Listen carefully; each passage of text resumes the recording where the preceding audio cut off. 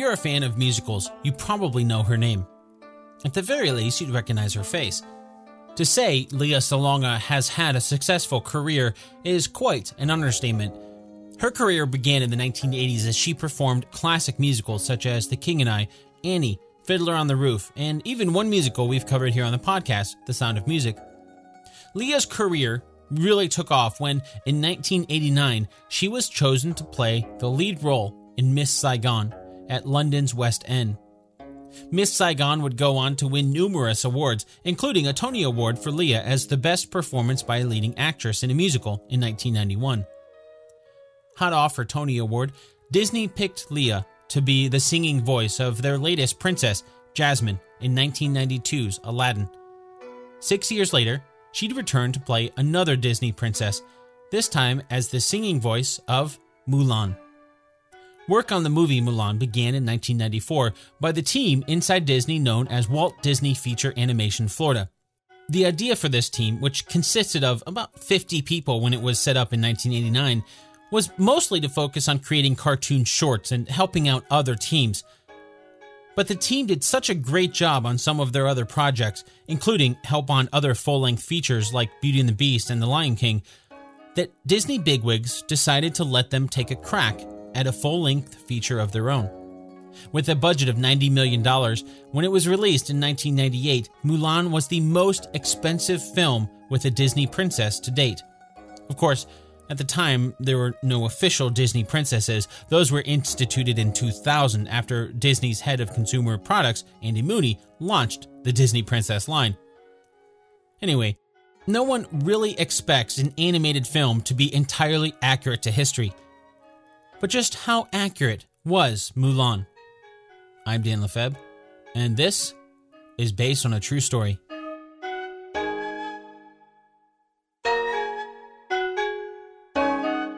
Let's play Two Truths and a Lie. If you're new to the show, here's how it works I'll share three things. Two of them are true, one of them is a lie. Listen closely for the answers scattered throughout the episode.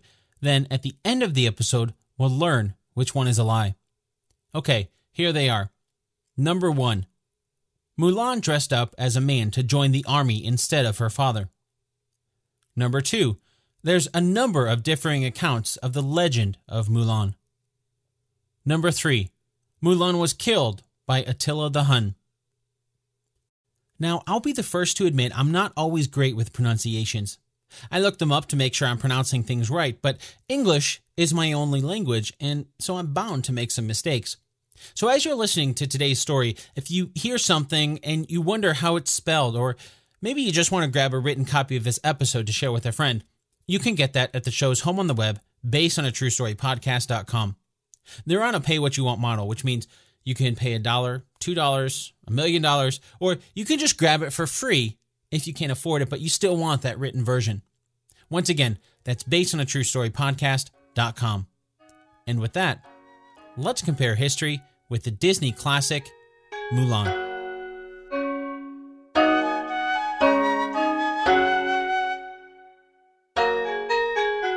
Our story today begins by setting some expectations because not much is really known about the real Mulan. Her story is one that has passed from generation to generation and is more legend at this point than known history. Perhaps the most prominent of these legends being either the song known as Ballad of Mulan or an ancient play known as Sui Tang Romance.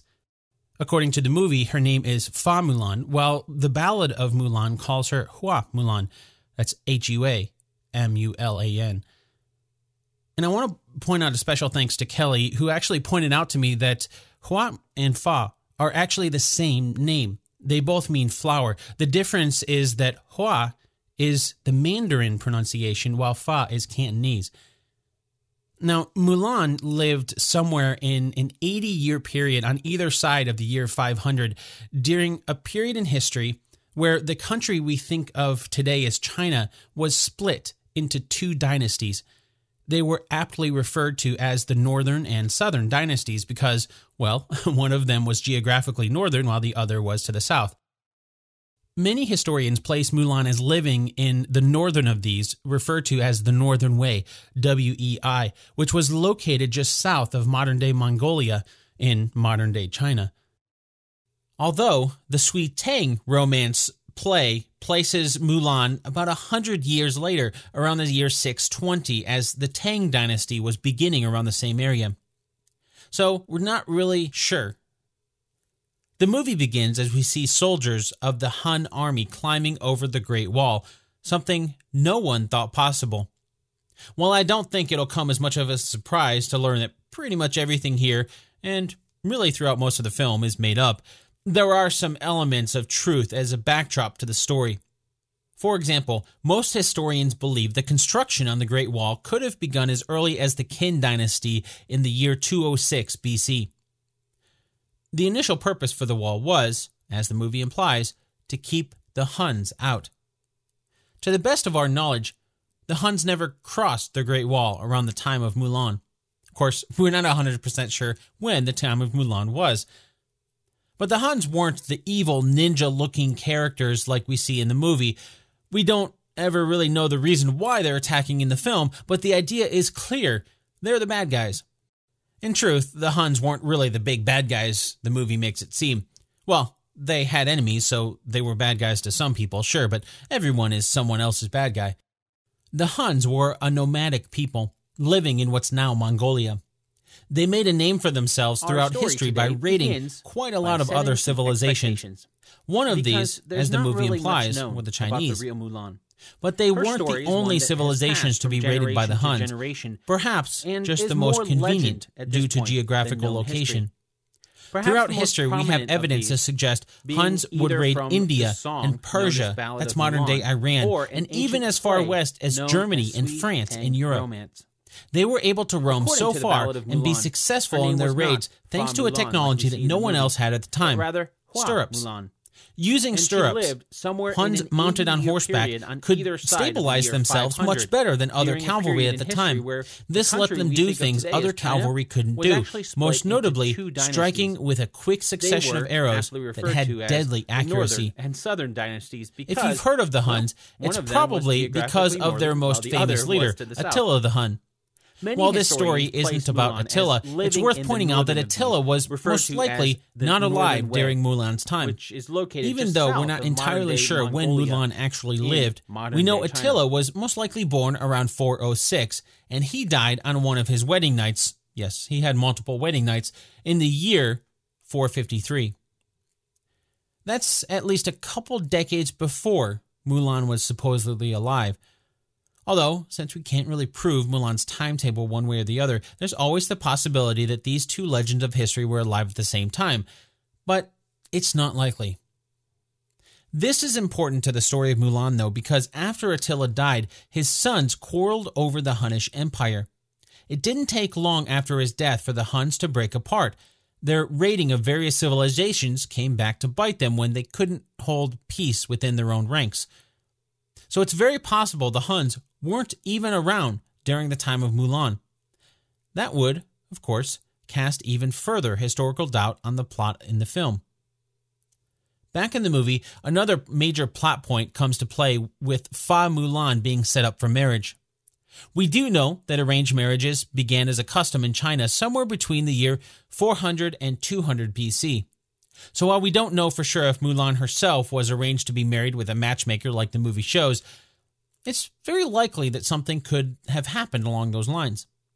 The next major plot point that we see in the movie is something else that's very likely to have happened. That is when Mulan takes the place for her father in the Imperial Chinese army to fight off the Huns. Well, as we learned, it's not likely the Huns that were around during Mulan's time. Instead, it's more likely Mulan fought against another nomadic group of people known as Xianbei. The Xianbei people lived in what's now eastern Mongolia and northeast China, but they were one of the largest nomadic peoples during the Chinese Han dynasty. That's not Hun, H U N, but Han, H A N. Of course, this history could be an entire podcast in and of itself, but for the purposes of our story, it's important to know that the Xianbei people would eventually establish the Tang dynasty we learned about earlier in the northern Wei region, where Mulan was believed to have lived. She did, however, take her father's place in the army. At least, that's the legend. According to the legend, Mulan joined the army to fight the Tang dynasty, who was trying to take over all of China. She didn't sneak out in the middle of the night like the movie shows. She did so because her father was elderly and her brother was too young. Yes, she had a brother. So she went in their stead and received her parents' support as they bade her farewell. So, while Mulan did join the army, there's not much to lead us to believe what we saw in the movie with Mulan fighting the Huns was accurate. But still, joining the army was enough of a reason for us to know who Mulan was, even now, thousands of years later. It wasn't a common thing to do, and it was something, like the movie shows, Mulan had to dress up as a man to do. Although, in the movie, Mulan's father, Fa Zhou, doesn't have any sons, only Mulan. Here again, we have a similar variation in accounts between Hua and Fa, the Mandarin and Cantonese pronunciations of the word flower.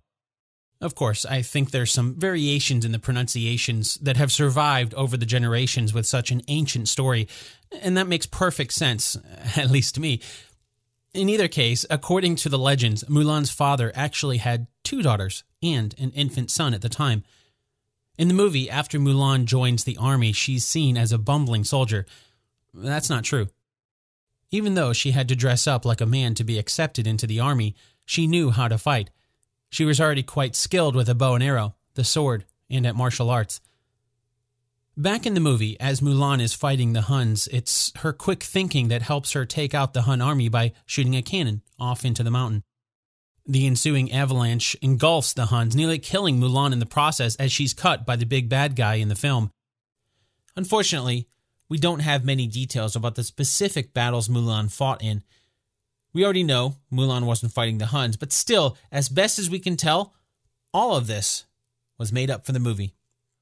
As the story goes, Mulan spent about 12 years in the Imperial Army as she fought for Hishana Khan. He was the Khan, or emperor, of the Western Turkic Khaganate that battled the Tang dynasty at some point during this time, Mulan and some other soldiers were cut off. It's here when a warrior princess named Xian Yang finds Mulan, and she finds out that Mulan is a woman. Xian Yang is so excited to find another woman warrior that these two women became sworn sisters and fought alongside each other for the remainder of the war. In the movie, things end as many Disney movies do on a happily ever after note. As you can probably guess, that's quite different than what really happened. Although different legends tell different tales of what happened to Mulan after her 12 years in the army. According to one, Mulan was offered a high ranking position in the army. She politely turned this down, instead, deciding to return home to her family and living out the rest of her life in peace, probably as close to happily ever after as you can get. Yet another legend is much more sad, as it claimed Mulan returned to a broken home. While she was away, her father had passed, and her mother had remarried to another man. Instead of being offered a position in the army, in this legend, Mulan was forced to become a concubine of the Khan. She refused this fate, instead, taking her own life. In the end, like many other legends throughout history, we just don't know much about the real Mulan. We don't even really know for sure if she was a real person or just a name that was passed from generation to generation, with each generation adding a little bit more to the story. I thought it'd be fitting to close out this episode by reading the lyrics to the song that tells the tale of Mulan. This is the Ballad of Mulan, written by an unknown author at some point in either the 5th or 6th century, and, of course, as translated to English.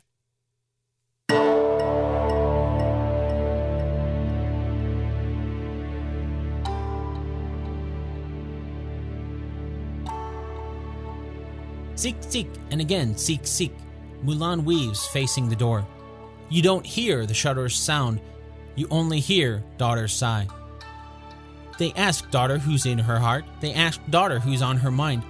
No one is on daughter's heart, no one is on daughter's mind. Last I saw the draft posters, the Khan is calling many troops. The army list is in 12 scrolls. On every scroll, there's father's name. Father has no grown up son. Mulan has no elder brother. I want to buy a saddle and horse and serve in the army in father's place. In the east market, she buys a spirited horse. In the west market, she buys a saddle. In the south market, she buys a bridle. In the north market, she buys a long whip. At dawn, she takes leave of father and mother. In the evening, camps on the Yellow River's bank. She doesn't hear the sound of father and mother calling. She only hears the Yellow River's flowing water cry, Sin, Sin. At dawn, she takes leave of the Yellow River. In the evening, she arrives at Black Mountain. She doesn't hear the sound of father and mother calling. She only hears Mount Yan's nomad horses cry, Su, Su. She goes 10,000 miles on the business of war. She crosses passes and mountains like flying. Northern gusts carry the rattle of army pots. Chilly light shines on iron armor. General die in a hundred battles. Stout soldiers return after 10 years. On her return, she sees the Son of Heaven. The Son of Heaven sits in the splendid hall. She gives out promotions in 12 ranks and prizes of a 100,000 and more. The Khan asks her what she desires. Mulan has no use for a minister's post. I wish to ride a swift mount to take me back to my home. When father and mother hear daughter is coming, they go outside the wall to meet her, leaning on each other. When elder sister hears younger sister is coming, she fixes her rouge, facing the door. When little brother hears elder sister is coming, he whets the knife, quick, quick, for pig and sheep. I open the door to my east chamber. I sit on my couch in the west room. I take off my wartime gown and put on my old time clothes. Facing the window, she fixes her cloud like hair. Hanging up a mirror, she dabs on her yellow flower powder. She goes out the door and sees her comrades. Her comrades are all amazed and perplexed. Traveling together for 12 years, they didn't know Mulan was a girl. The he hare's feet go hop and skip. The she hare's eyes are muddled and fuddled. Two hares running side by side close to the ground. How can they tell if I am he or she?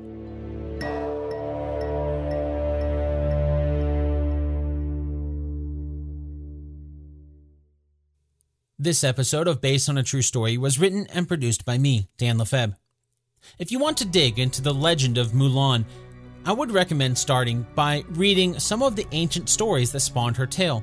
One of those, the Ballad of Mulan, we've heard above, but even that song was added to over centuries and more stories were added. There's a great book with many of these stories translated into English by Shiamin Kwa and Wilt Idema. That book is called Mulan Five Versions of a Classic Chinese Legend with Related Texts. I'll make sure to put a link to that in the show notes over at basedonatruestorypodcast.com. Before we get to the two truths and a lie game, let's share another five star review from iTunes. This one comes from the UK where a username Big Law writes Listen to this, a really good podcast series, nicely paced and informative, original in its idea, and well told. More, please. Well, as the legend goes, please as the magic word, right? thank you so much, Big Law, whomever you are. I've got plenty more coming. And thank you for taking the time to find and listen to Based on a True Story. If you want to leave a five star review for me to read in the future, hop over to iTunes. Finally, it's time for our answer to the two truths and a lie game from the beginning of the episode. As a reminder, here are the two truths and one lie. Number one, Mulan dressed up as a man to join the army instead of her father. Number two, there's a number of differing accounts of the legend of Mulan.